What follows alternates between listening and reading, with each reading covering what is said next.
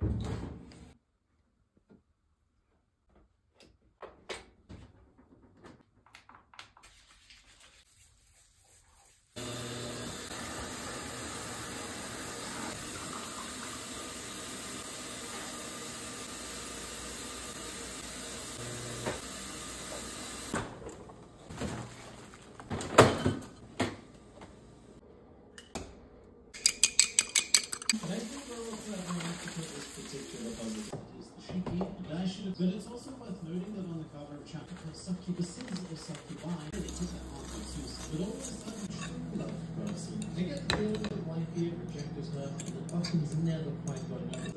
Oda may not have had that plan at some stage, and once we met another emperor but it could also explain why I'm Occasionally, something unpredictable happens,